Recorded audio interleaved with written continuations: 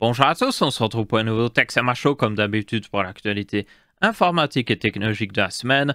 Top des matières dans la description, nous avons pas mal de news cette semaine-ci, notamment euh, plein d'annonces Google. Nous avons aussi euh, des sorties de cartes graphiques, mais ça vous avez déjà eu les tests techniquement. Mais petit update en tout cas au niveau des prix, c'est plutôt intéressant sur les dernières RX 6000. Euh, et nous avons plein d'autres news.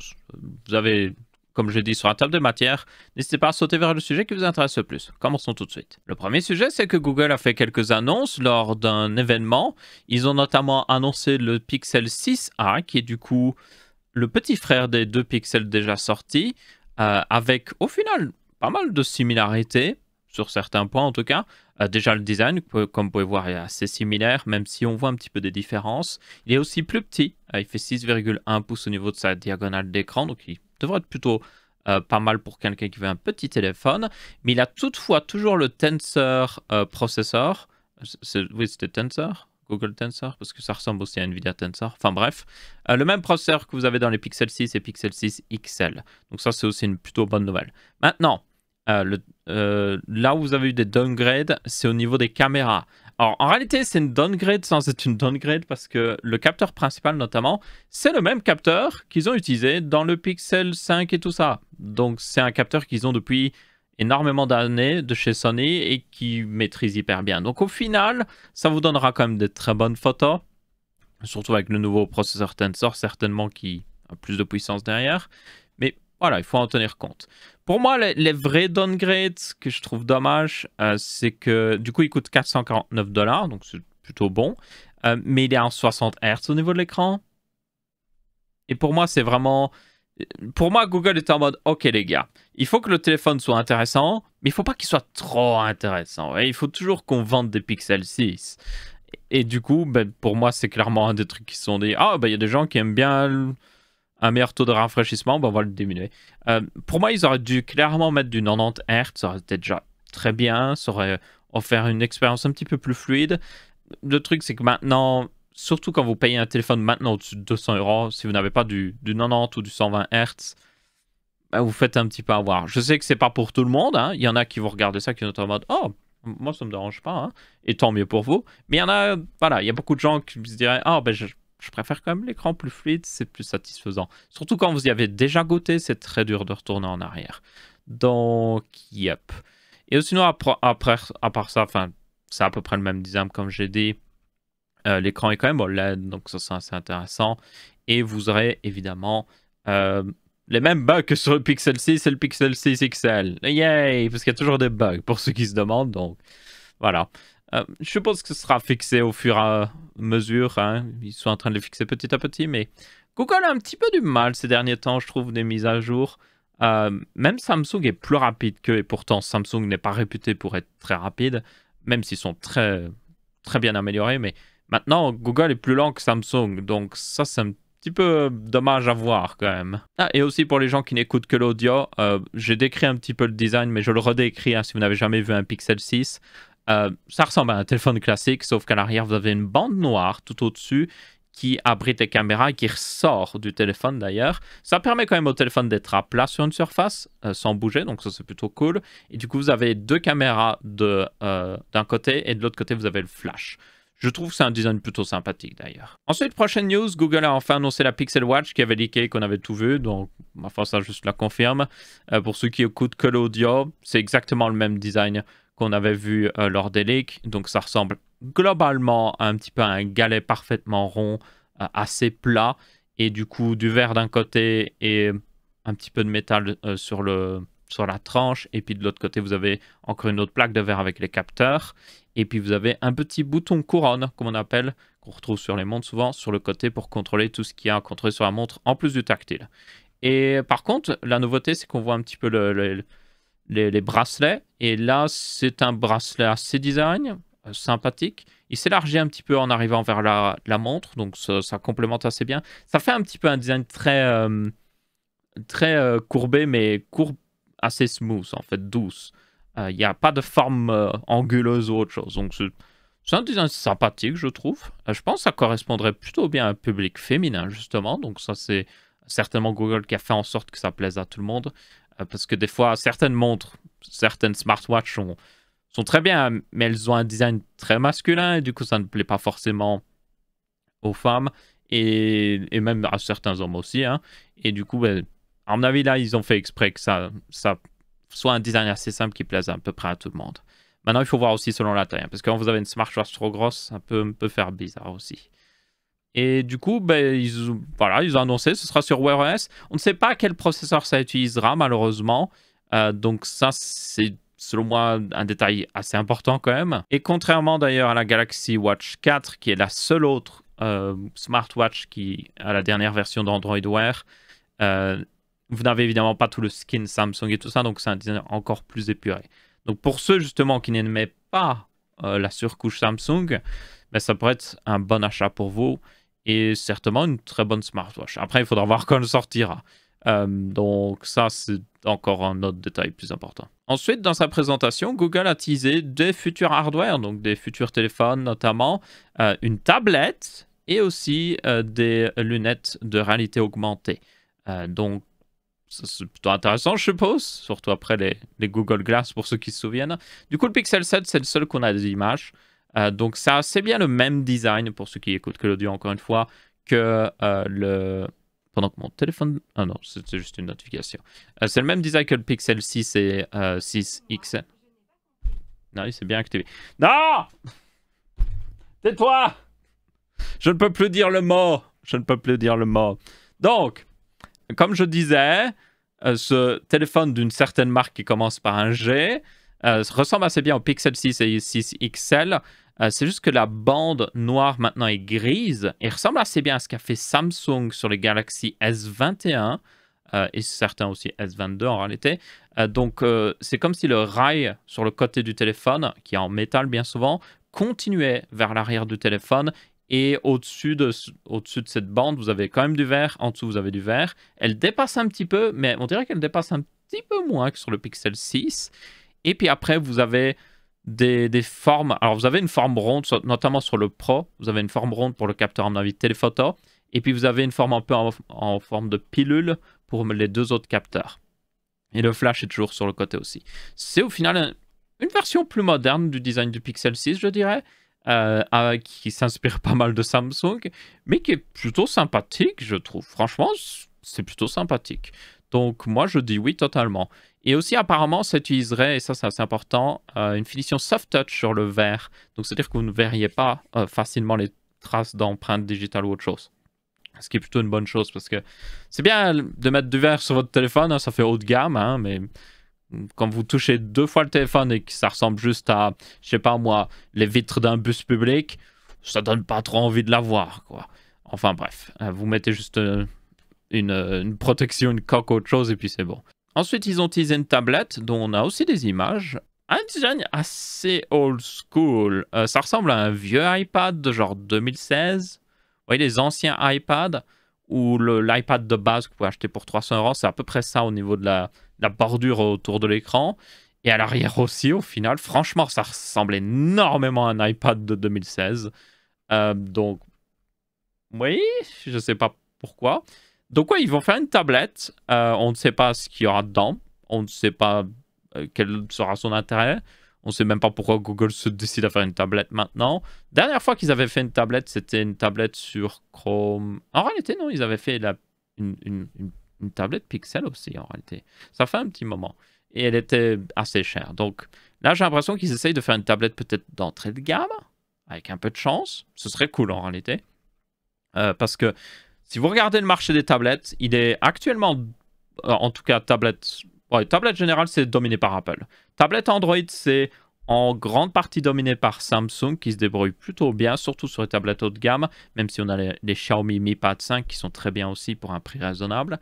Et puis après, quand vous descendez en dessous de 300 euros, c'est un peu de la misère en fait. Les tablettes coûtent extrêmement cher pour pas grand chose. Euh, genre, elles coûtent des fois 250 euros et puis vous avez un processeur dedans que vous retrouverez dans un téléphone à 100 euros.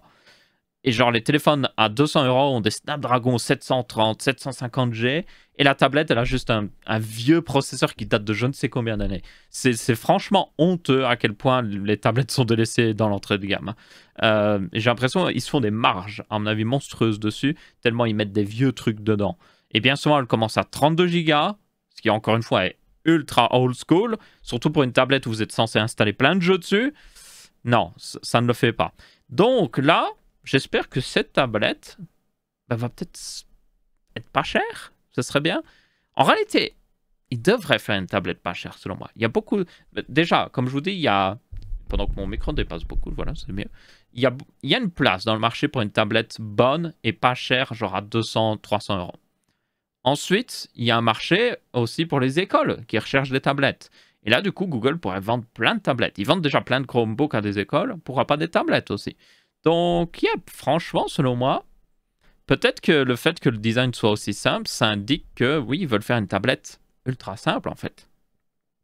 On verra bien ce que ça donnera une chose est sûre, je suis intéressé si c'est vraiment le cas que ce soit une tablette pas chère. Par contre, si c'est une tablette qui ressemble à ça et qu'elle sort à 600 euros, là, je, perds tout espoir dans Google. Et enfin, le dernier truc, c'était les lunettes euh, AR. Donc, euh, c'est tout simplement de la réalité augmentée.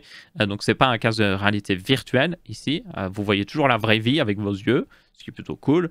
Mais vous avez une surcouche par-dessus. Donc, c'est évidemment les Google Glass 2.0. Ah non, j'ai dit le mot magique. Ah. Et si c'est activé, il, va parler, le speaker. Non? Non, ça va, il s'est pas activé.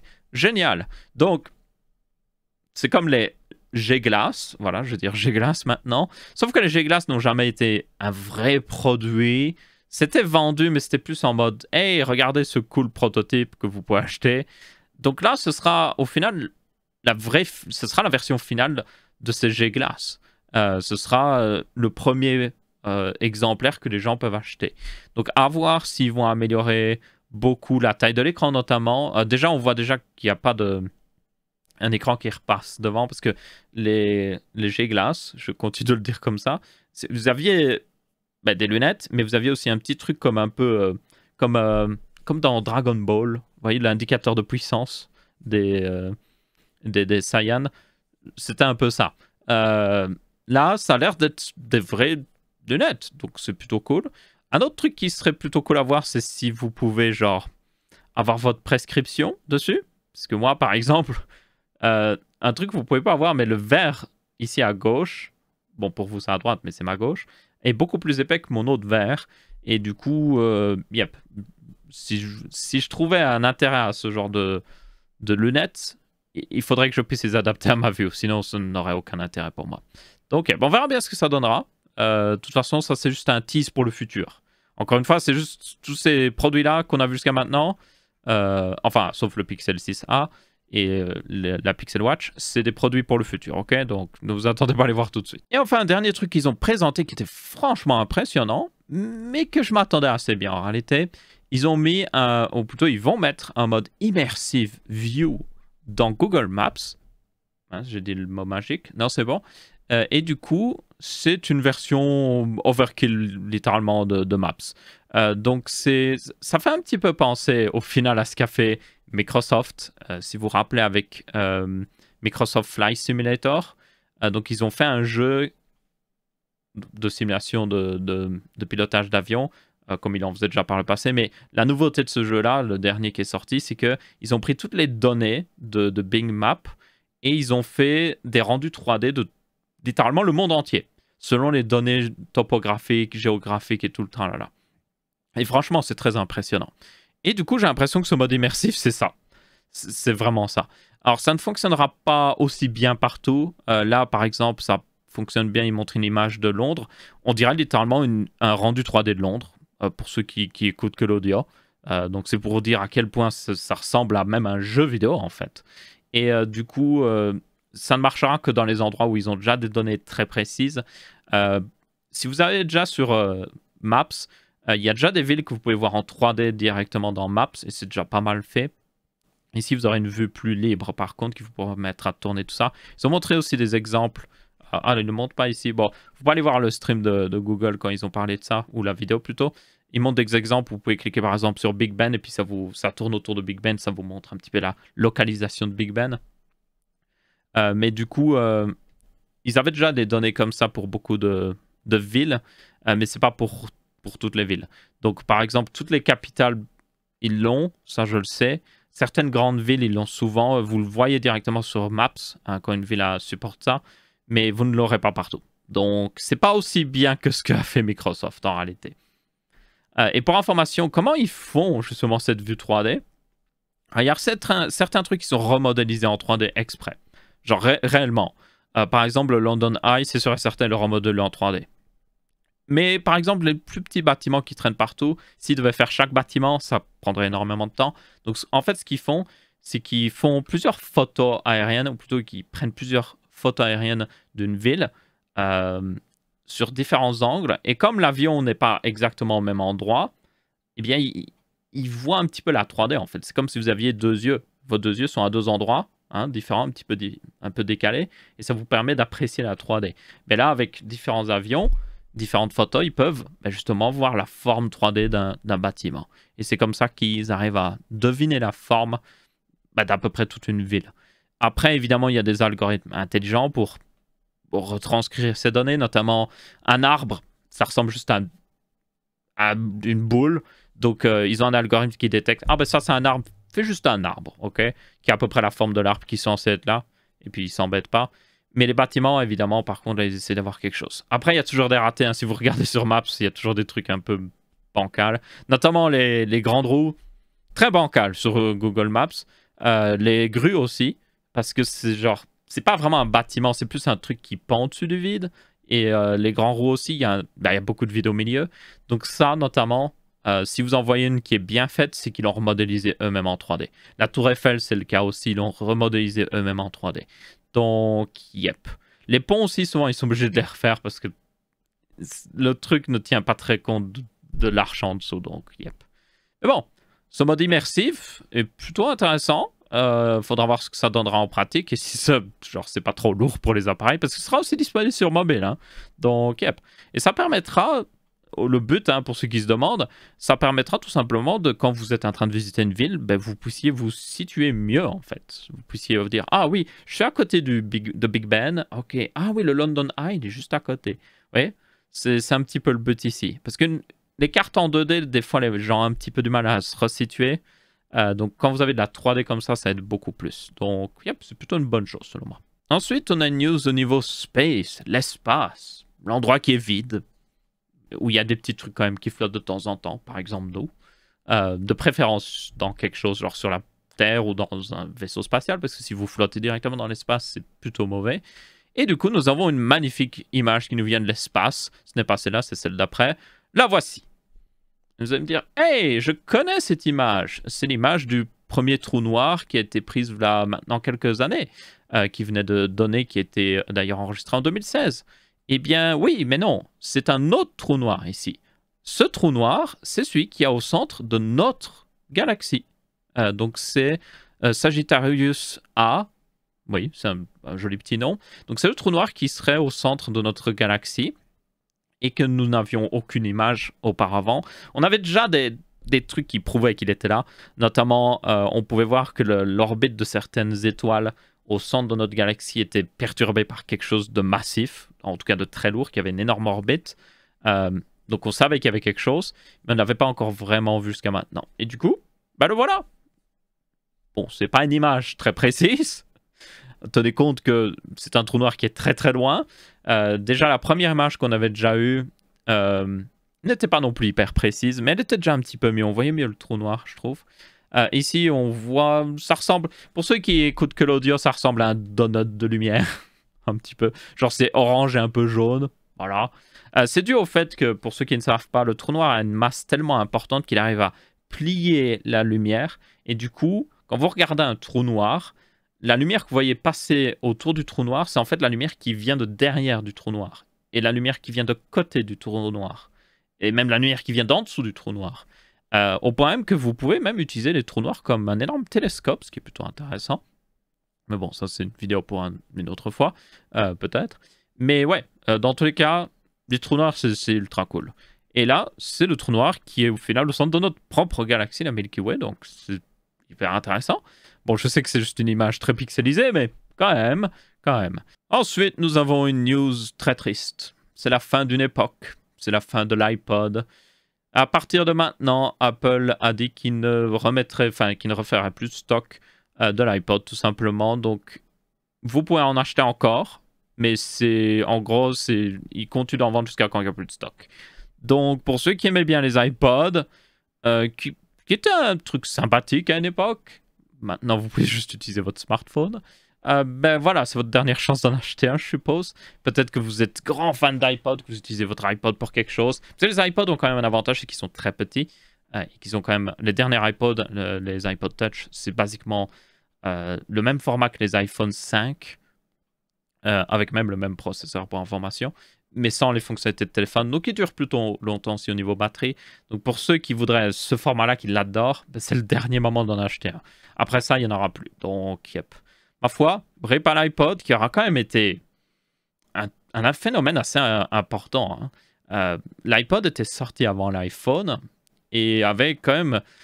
Bah, évidemment, il y avait les petits lecteurs MP3 très cheap, hein, mais l'iPod avait été un petit peu toujours ce modèle haut de gamme, vous voyez, de lecteur MP3. Et puis après, quand il y avait eu l'iPod Touch, euh, enfin l'iPod avec un écran et tout, alors là, évidemment, là, ça, ça, c'était hyper impressionnant pour beaucoup de gens. Ils avaient même fait un iPod avec un disque dur dedans, et c'était un tout petit, un mini disque dur, c'était assez marrant. Donc, yep. Il y a même des gens qui s'amusent à réparer les iPods avec disque dur, ils mettent des SSD dedans. Comme ça, c'est évidemment beaucoup mieux qu'un disque dur qui est lourd et qui peut se casser quand vous le bougez, ce qui arrive forcément avec un iPod. Donc, yep. Dans tous les cas, RIP l'iPod, merci à toi pour tout, des services, je suppose, et euh, repose en paix. Ensuite, nous avons une news qui concerne les euh, consoles mobiles, ou plutôt les PC euh, qui ressemblent à des Switch et que vous pouvez utiliser comme console mobile. Et vous avez Aya qui a annoncé la Aya Neo 2 qui sera basée sur un Ryzen 7 6800U. Alors, c'est assez notable parce que le Ryzen 6800U est l'un des premiers APU AMD qui a un GPU RDNA 2.0, donc les mêmes qu'on a dans les RX 6000.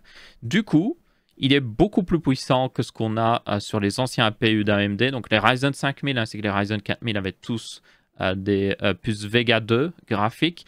Elles étaient puissantes, mais elles commençaient à dater un petit peu. Et du coup, c'est aussi le même genre de puce que vous avez dans le Steam Deck. Et ça, c'est assez notable. toutefois, contrairement au Steam Deck, en réalité, vous avez plus. Genre, vous avez pas mal plus, en vrai. déjà, le 6800U a weaker 16 threads, donc beaucoup plus de puissance. Il a aussi une meilleure fréquence. Euh, il est aussi basé sur une dernière architecture CPU d'AMD euh, parce que je vous rappelle que euh, le Steam Deck, lui, utilisait des processeurs Zen 2. Et là, vous avez des processeurs Zen 3 donc ils seront beaucoup plus efficaces et beaucoup plus puissants. Ils sont aussi très efficaces au niveau batterie en réalité. il, y il, y a, des tests pour les Ryzen 6000 mobiles qui ont été faits. quand vous les laissez en genre rien faire, il consomme presque rien de batterie. Genre, c'est assez impressionnant. Euh, et c'est plutôt cool même. Et du coup, en plus de ça, le, le chipset graphique, est du coup le Radeon 6000, euh, le 6000, 680M, a même plus de, de compute unit que sur le Steam Deck. Il en a 12 contrairement au 8 que vous avez sur le Steam Deck. Donc c'est-à-dire qu'il est 50% plus puissant en réalité. Il a même une meilleure fréquence, donc il doit être plus que 50% plus puissant. Donc en gros, alors le Steam Deck est toujours bon, hein, euh, mais ça, ça va être monstrueux en termes de puissance pour un truc tout petit. Vous avez aussi de la LPDDR5 qui monte jusqu'à 6400 MHz, donc c'est encore mieux, ça donnera plus de bande passante pour le GPU, donc c'est une bonne chose. Il y a un écran 7 pouces euh, de 1280 pixels par 800 pixels, à peu près parfait pour faire du jeu comme ça. Windows 11, et c'est à peu près tout ce qu'on sait, il sortira fin 2022. il me semble qu'ils doivent faire un Kickstarter. Ils font toujours des Kickstarter pour leur truc, donc à mon avis, ils doivent avoir un Kickstarter déjà. Euh, mais je suis pas sûr en vrai. Peut-être qu'ils vont le sortir un peu plus tard, le Kickstarter. Et puis ils ont montré le design. Donc ça, c'est plutôt cool. Parce que le design est sympa, franchement. Aya, euh, si vous ne savez pas, euh, a sorti plusieurs consoles mobiles comme ça. Et les premières étaient bien, mais à chacune qui sortait, ils amélioraient notamment l'ergonomie, ce qui est très important. Et c'est un des gros points forts d'ailleurs du Steam Deck. L'ergonomie est excellente sur le Steam Deck. Ils ont passé énormément de temps à l'améliorer.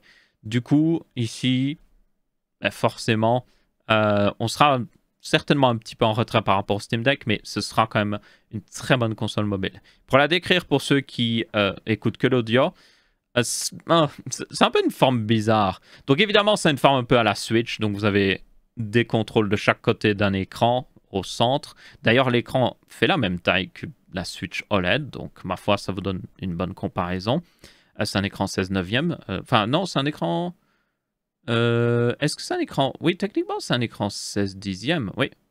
Ou peut-être un petit 16 dixième, oui. parce que normalement, si, c'était du 16 neuvième, ce serait 1980 pixels par 720 pixels. Donc, c'est du 16 dixième. donc, il est un petit peu plus haut que l'écran de la Switch, en réalité.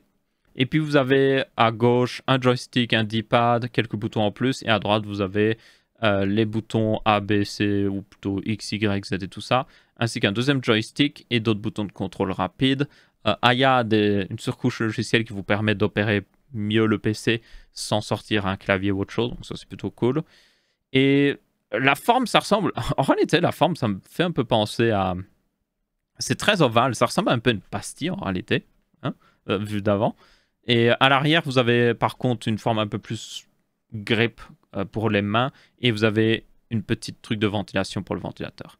Et sur la tranche supérieure, vous avez la sortie de ventilation et puis des ports. Donc c'est une, forme très simple. Franchement, il n'y a rien d'exceptionnel. Il y a aussi un autre port en bas pour ceux qui voudraient recharger depuis le bas. Donc yep, plutôt cool.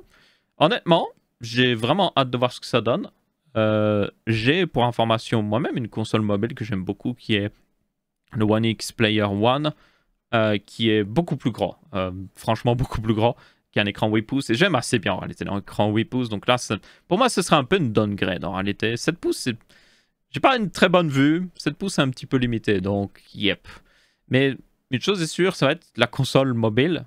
Console, si vous considérez que c'est une console mobile, euh, la plus puissante qui existe. Et ça, c'est assez impressionnant. Ensuite, nous avons AMD qui a lancé les RX 6950 XT, 6750 XT et 6650 XT. J'ai fait une vidéo là-dessus. Si vous ne l'avez pas vu, je vous la mettrai dans le petit euh, au-dessus à droite. Vous pouvez aussi la retrouver sur la chaîne. Et euh, globalement, c'est un refresh des trois cartes qui ont un nom très proche. Je ne vais pas les reciter parce que c'est très long.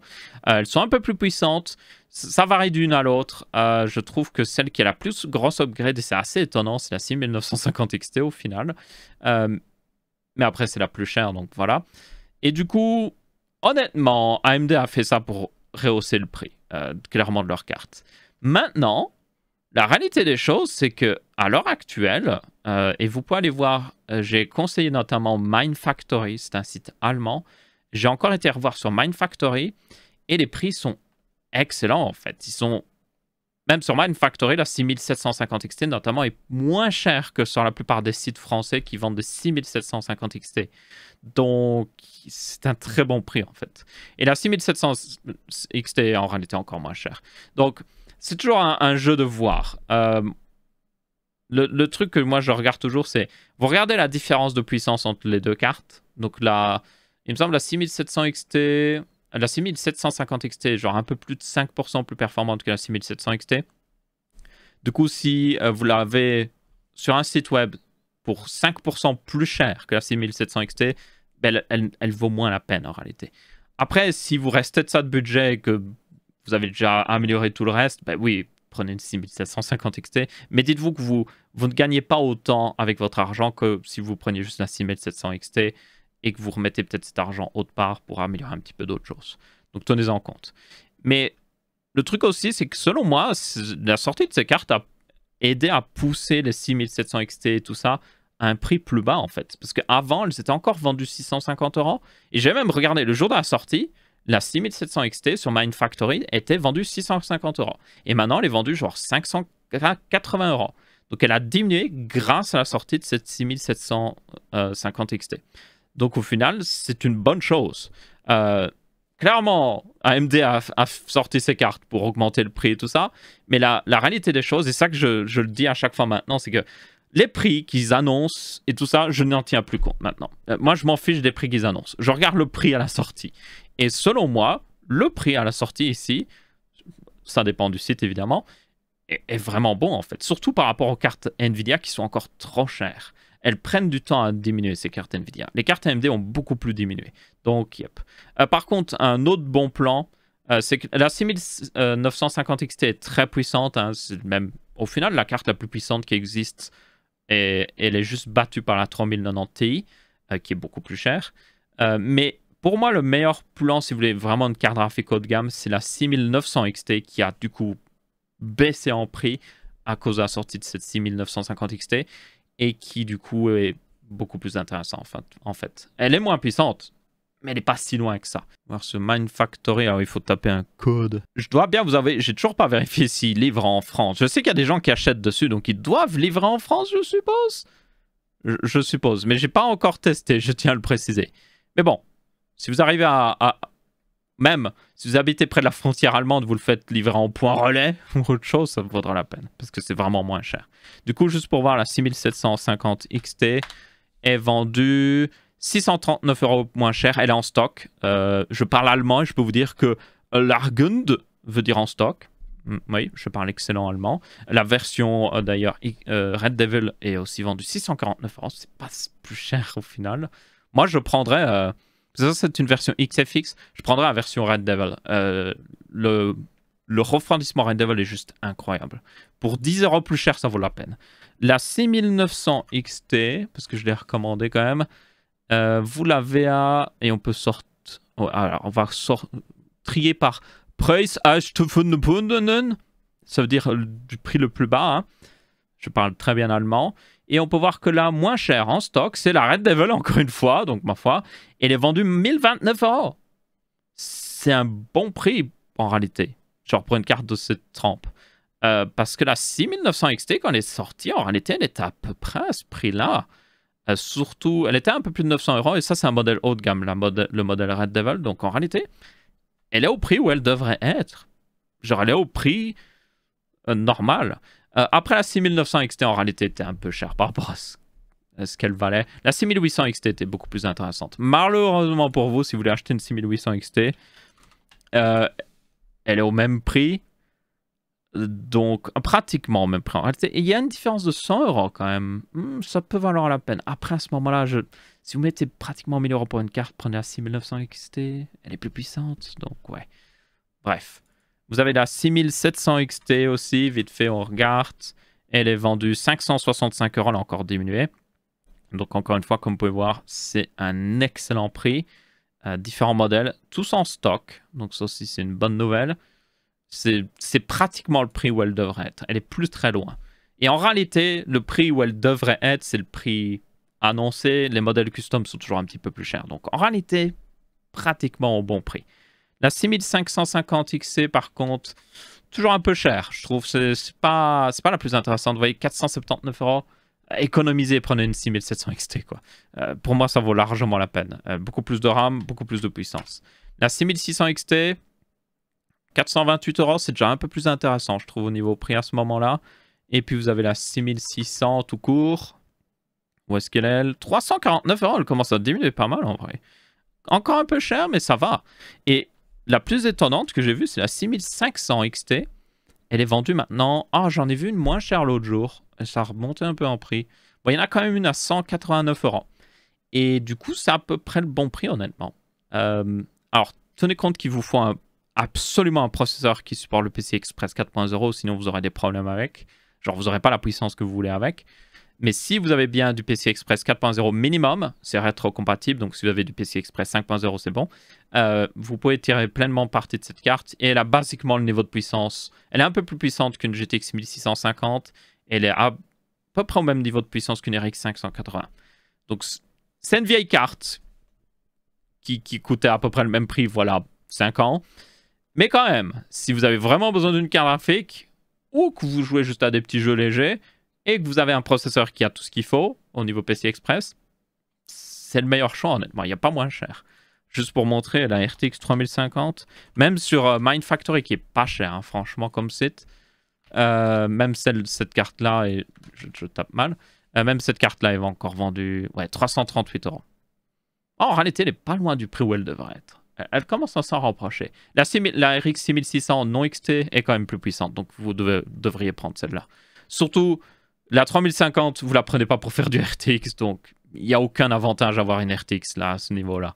À, part si vous voulez peut-être euh, l'encodeur Nvidia, qui est en réalité pas mal, mais tout le monde n'en a pas besoin.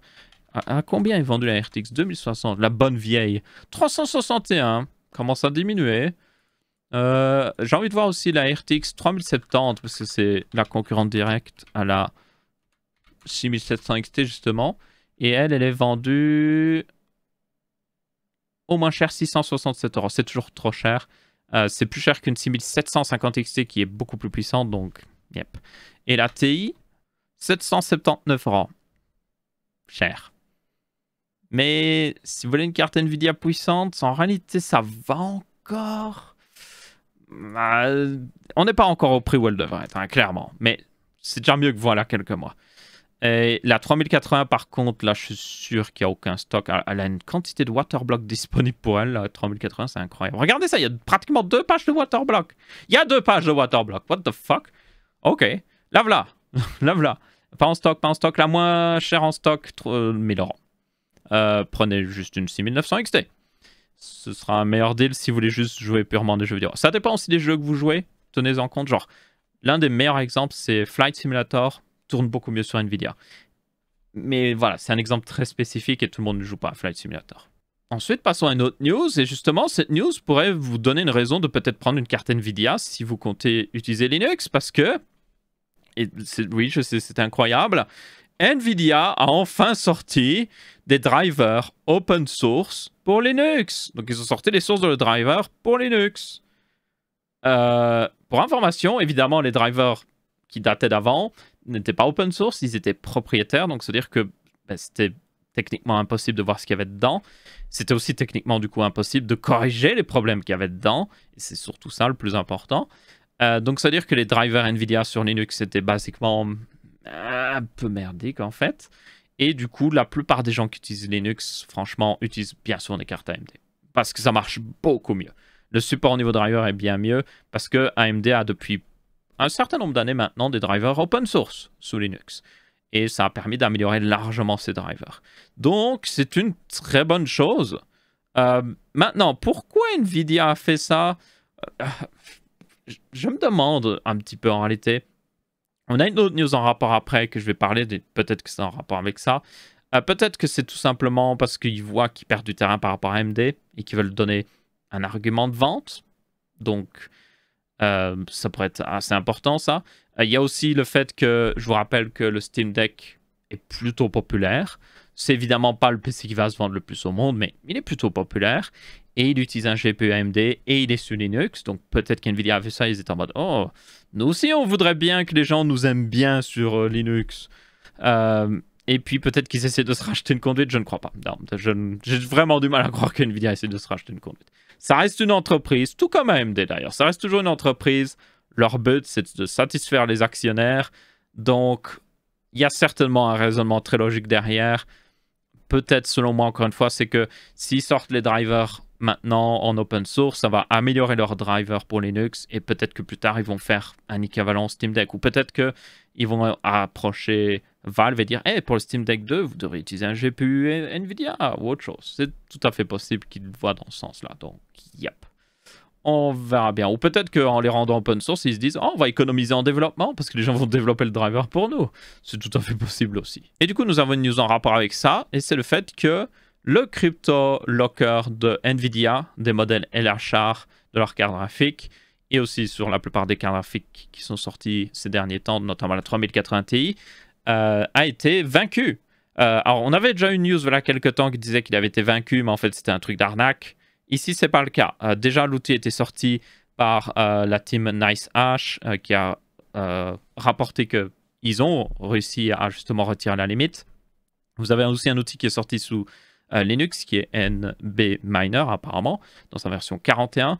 Donc en gros, des des groupes réputés de mining ont tous euh, confirmer que oui, euh, c'est officiel, c'est pas une arnaque et ça semble marcher. Alors après, j'ai pas encore vu de tests personnellement de, gens qui s'amusent à tester, voir quel était le rendement. Euh, après, ça arrive pas forcément au meilleur moment parce que vous avez notamment le Bitcoin qui a un peu craché, donc voilà, c'est moins rentable de miner en ce moment, donc à voir. après, il y a aussi des théories du complot qui, honnêtement, sont pas si tirés par les cheveux, euh, qui disent que c'est Nvidia qui a aidé, à, ou plutôt facilité à ce que ça se fasse craquer. Comme ça, ils peuvent relancer la vente de GPU pour le mining parce que ça a pas mal diminué ces derniers temps et du coup, ben, Nvidia vend moins de GPU. Et du coup, ils se disent, hey, on voudrait bien vendre plus de GPU à un très gros prix. Et du coup, peut-être que c'est eux. Je sais pas. C'est clairement une théorie du complot. Hein. Mais franchement, ça ne m'étonnerait vraiment pas. Ça ne m'étonnerait, alors pas du tout. Et d'ailleurs, une autre petite news avec Nvidia, c'est le fait que le 23 mai, nous aurons le Computex 2022 et nous aurons l'annonce Nvidia. Donc, notamment, nous aurons certainement les annonces de la prochaine architecture gaming de Nvidia au niveau graphique. Alors, ça ne veut pas dire qu'ils vont annoncer les RTX 4000, genre dire oh, la RTX 4080 est officielle, elle sera vendue autant, tout le tralala. C'est possible qu'ils en parlent un petit peu, mais qui, en gros disent hey, ça arrivera un peu plus tard. Euh, donc, ne, vous attendez pas à une full annonce des, des prochaines cartes graphiques Nvidia. Mais on devra avoir quand même pas mal de détails, surtout sur l'architecture en tant que telle. Et ça, c'est très intéressant parce que ça nous permettra de confirmer certains délits qu'on a vus jusqu'à maintenant. Donc, yep, ce sera dans quelques jours. Normalement, par rapport à la sortie de cette vidéo, ce sera dans 6 jours. Yep, 6 jours. Euh, donc, euh, ma foi, pour le prochain texte à ma show, vous aurez un résumé de tout ça. Et enfin, dernière news, le fait que AMD FSR 2.0 a été testé versus NVIDIA DLSS euh, dans des tests réellement, pas juste « oh, on regarde les images données par AMD euh, là, c'est des tests où le jeu était en action, on pouvait bouger dans le jeu. c'est notamment testé sur Death, Deathloop, qui était un jeu qui est sorti récemment. Et du coup, vous avez une vidéo de Hardware Unbox, excellente chaîne. bon, il parle anglais, mais Peut-être que le sous-titre fonctionnerait euh, de fois de temps en temps. Mais euh, très bonne chaîne et ils ont fait toute une vidéo de comparaison là-dessus. Donc je vous invite à la regarder, c'est très intéressant. Euh, globalement, AMD FSR 2.0 est très bon, même au final au même niveau que DLSS maintenant. Donc ça c'est une excellente nouvelle. et vous avez un peu moins de gains de performance par rapport à la version 1.0 qui a donné des plus gros gains. mais aussi donner une moins bonne qualité d'image. Donc c'est un bon compromis, je trouve. On a une meilleure qualité globalement. Et vous pouvez toujours vous remettre en performance ou autre chose. Hein. Il y a différents niveaux de FSR. Et du coup, retrouver plus de performance. Mais ouais. Euh, AMD, FSR 2.0 est franchement très très bon et c'est une bonne chose à voir. J'espère que ça donnera un petit peu plus euh, le feu sous les fesses d'NVIDIA euh, sur leur version évidemment gratuite que eux aussi ont sorti. Euh, qui, est différent. En réalité, c'est plus un équivalent à AMD. Comment ça s'appelait? Le, truc qui n'a pas besoin d'être ajouté au jeu. Bref. Euh, mais bon, ça, mettra la pression à AMD, euh, à, Nvidia et aussi à Intel quand ils vont sortir leur carte graphique. Ils ont, dit qu'ils allaient faire la même chose. Et du coup, j'espère que nous allons avoir ben, plus d'amélioration au niveau de cette technologie parce que c'est franchement, par rapport à RTX et tout ça, c'est selon moi la technologie la plus intéressante qu'on a jusqu'à maintenant ça vous donne plus de performance. Euh, c'est même sur euh, chez AMD, c'est supporté sur des vieilles cartes graphiques en plus. Euh, c'est plutôt facile à rajouter le support, surtout du côté d'AMD. Et ça permet d'améliorer la qualité. c'est que des avantages avec très peu de désavantages. Donc franchement, j'adore tout ce qui est upscale. C'est, selon moi, c'est l'un des meilleurs trucs qu'on a vu sortir des, des de tout ce qui est dernière génération de cartes graphiques et tout ça. J'espère qu'on va en voir plus, notamment, par exemple, pour le streaming. Euh, j'adorerais pouvoir avoir un plugin dans mon navigateur, un plugin DLSS ou un plugin FSR qui prend ma vidéo 1080p YouTube et la remet en, un meilleur 1080p euh, ou en tout cas un 4K techniquement, même si c'est pas aussi bon que le vrai 4K, c'est suffisamment, suffisamment amélioré pour que ça vaut la peine. Donc j'espère franchement qu'on va avoir ça très bientôt parce que ce serait génial. Je sais que ça existe déjà sur des programmes de montage notamment, euh, mais ouais, c'est un programme de montage donc c'est pas aussi pratique que d'avoir dans le navigateur. Je sais aussi que le, Nvidia Shield, le truc que vous pouvez raccorder à votre TV, avait un équivalent aussi, je le sais pleinement. Mais bon, moi j'attends un plugin navigateur. Nvidia, Faites-le, c'est un excellent argument de vente pour les RTX 4000 ou autre chose, ou toutes vos RTX en fait. Sortez un plugin genre Chrome au moins qui permet de faire un DLSS sur les vidéos YouTube, ou les DLSS sur tout ce qui est streaming populaire. Twitch, ce serait excellent par exemple. Donc, yep, faites-le Nvidia, faites-le AMD, faites-le Intel aussi. Tout le monde le fait. Bref, dans tous les cas, nous allons rester là pour euh, ce texte à marche aussi. J'espère que vous avez bien apprécié. Si c'est le cas, vous pouvez laisser un pouce bleu. Si ce n'est pas le cas, vous pouvez laisser un pouce rouge. On se retrouve pour une prochaine vidéo et je vous dis ciao ciao